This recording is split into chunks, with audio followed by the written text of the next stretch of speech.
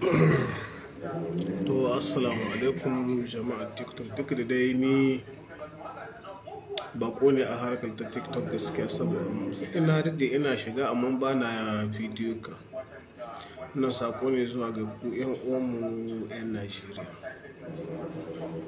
So ya kamata tsakaninmu da ku akwai ɗa'a karamci da kuma ladabi wa juna. Bai kamata ba abu kaɗan ku hito cikin social media ku zage mu ku zage iyayenmu ku zage ƙasarmu wannan ba ɗa'a ba ne a matsayinmu 'yan ƙasa guda. Don zan iya ƙasa guda duk wani mai tankawa da najeriya ƙarya ce ke tushe shi nijar ne.